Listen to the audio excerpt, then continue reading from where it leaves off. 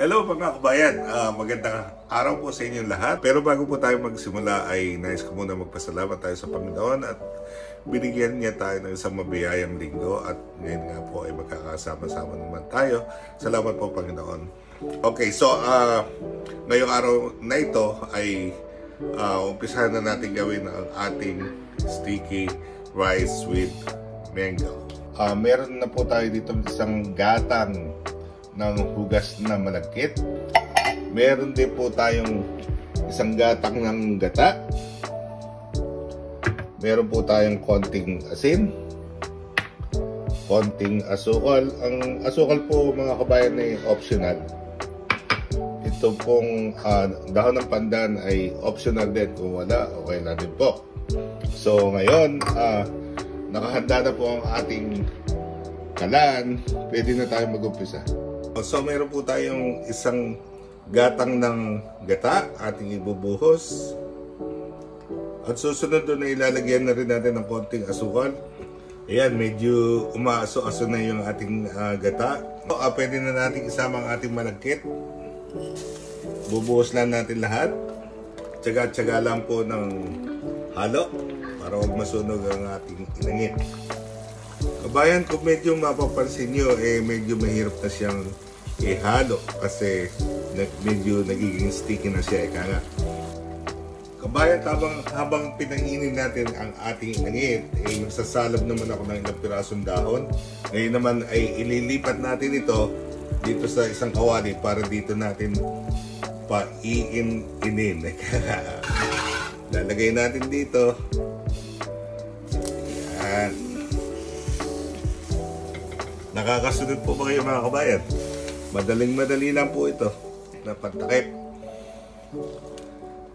Well, mga kabayan, ano ba bago yan? Ano bang pwede natin pagkwentuhan? So, uh, nakakamiss sa Pilipinas. Uh, talagang uh, wish na wish ko na makauwi at uh, makadao pa paano kayo makakwentuhan ng personal.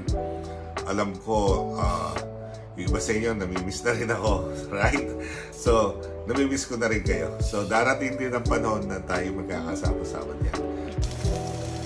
Bayan, habang pinapainin natin yung ating uh, sticky rice, meron akong natirang gata ng umaga at ang gagawin ko naman eh, makukuloan ko lang siya at lalagyan ng konting ayan, nilagyan ko ng konting sugar at uh, hintayin natin kumunod, kakaluin natin ulit.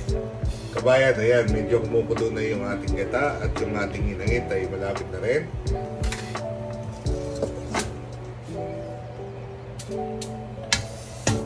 Ayan kabayan, nakapag-prepare na tayo ng ating plating. Lalagyan natin ng konting, ika nga eh, gata na may konting asukal. Pang finished product natin. At yan po ang ating version ng ng inangit or sticky rice with mango.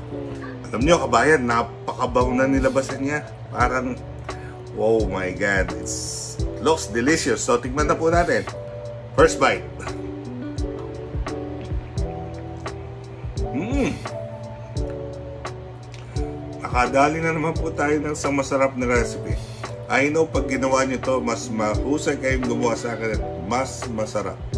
Kabayan, tulad ng nasabi ko kanina, ang ang pinakaunang reason ng aking pag-vlog ay nakadao pang palad kayo paminsan-minsan. At least once a week, right? So, I'm going to try my best to present to you some recipe and I'm going to try uh, sharing with you pictures, travel photos, and videos, right? So, I'm planning to go to the north uh, this coming month. And maybe I can share some pictures while I'm traveling. And maghahanap din ako ng masarap na idea kung ano pwede natin lutuin at pagsaluhan. Maski sa ilang minuto lang right? With that mga kabayan magandang araw po sa inyong lahat. Ito po ang inyong kabayang Ed. Tayo po magbalita ang muli sa isang sa isang linggo. And God bless us all